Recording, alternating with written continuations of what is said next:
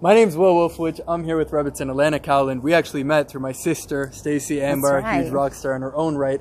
Rebbitzin mm-hmm. Cowland is the women's director of programming here at Aish HaTorah, empowering women to be inspired about their Judaism.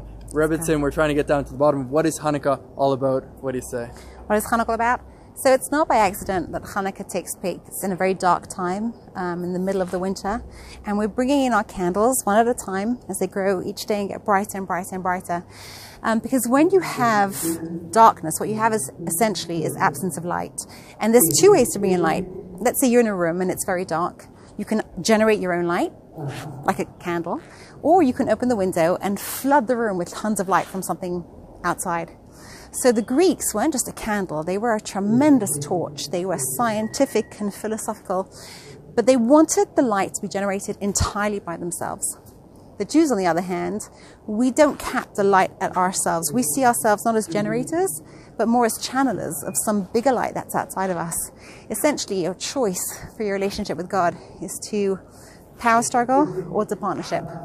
If you power struggle, it's you. Mm-hmm. And if you partner, then it's you as a channel for something bigger than you. So once you're connected to something infinite, then as small as you are, the light that you can bring in has a capacity for infinite greatness.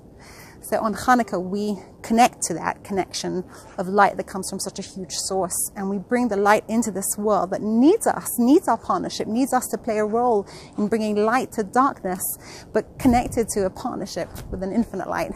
And uh, I hope you light up your world, Will, and I hope we all light up our worlds over this Hanukkah. Beautiful. Happy Hanukkah. Thank you so much. For sure.